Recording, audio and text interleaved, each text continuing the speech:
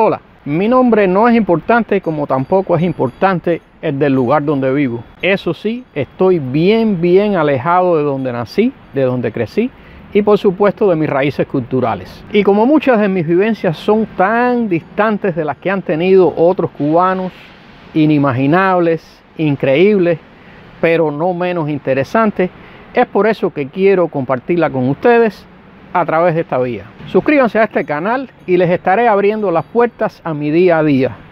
Y también compartan con sus amistades para que ellos puedan ver y disfrutar cómo es que vive un cubano en casa del carajo. Nos vemos.